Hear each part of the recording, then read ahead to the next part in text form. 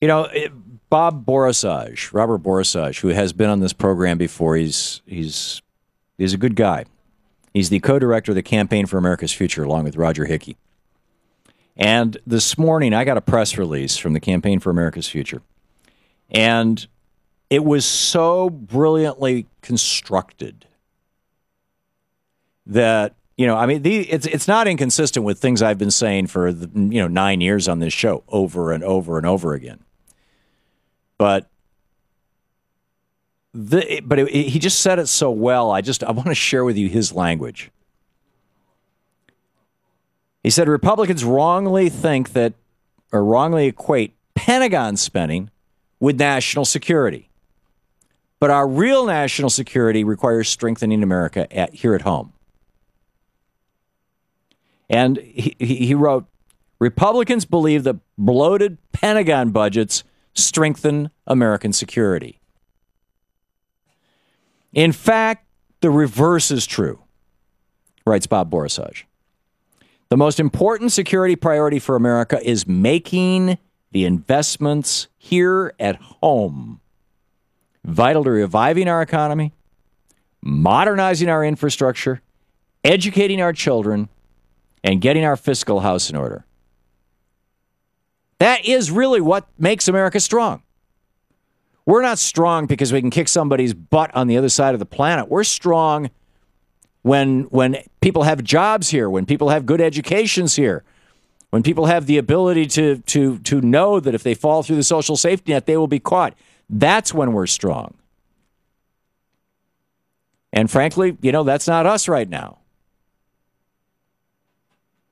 So, you know, he goes on to say the Cold War is over. Oh, and he and and you know what's the greatest source of waste and and and fraud in the entire government? The Pentagon. Pentagon spending has doubled since 1997. Doubled. He says the Cold War is over. Bin Laden is dead. Al Qaeda is dispersed. The U.S. cannot and should not police the world. The Pentagon now spends almost as much on the military as the rest of the world combined. It's the largest source of fraud, waste, abuse in the federal government. The budget has more than doubled over the past 10 years. That'd be since 2002. We're spending more, you know, on defense right now than even in inflation adjusted dollars than we were when Ronald Reagan won the Cold War by outspending the Soviets. Right wing talking point. I mean, the Soviet Union was collapsing at that point anyway, but the right wingers love to credit Reagan with it. Ain't true, but nonetheless, he spent Reagan spent like crazy, you know, a trillion dollars on Star Wars.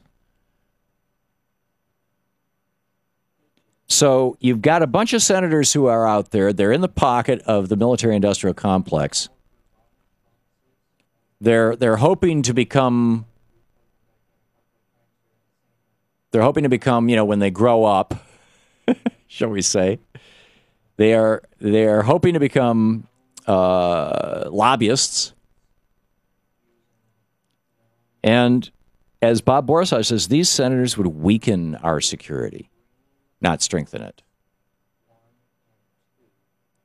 And this is just, you know, this is what's going on in America and you get you get the you know the the the Mitt Romney's saying, well, you know, I don't I don't worry about the very poor. They've got social safety net programs to fall back on. Well, maybe. I would submit to you that the social safety net programs that the very poor can fall back on, you know, to the extent that they're there, those those social safety net programs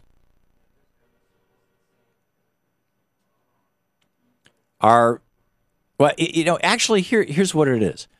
I'll bet that Mitt Romney and Newt Gingrich and all these guys who are multimillionaires, they think that if you're really poor and you're on food stamps and and stuff like that, that it's sort of like for them, you know, going to the bank. They go to the bank and say, you know, I need some pocket change. Give me a thousand bucks. And the bank says, okay, here you go.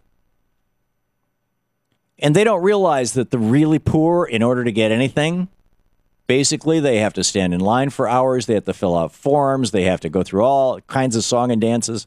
This is the reason why so many people who are eligible for Medicaid in the various states don't don't have it. They don't have the ability or the time to go stand in line or to fill out the forms or the you know it's it's really quite remarkable. And I think that's what accounts for that lack of empathy. But you know, I, I, I, maybe maybe there's some other explanation. Maybe you have an idea about it, but I don't. I just can't come up with it.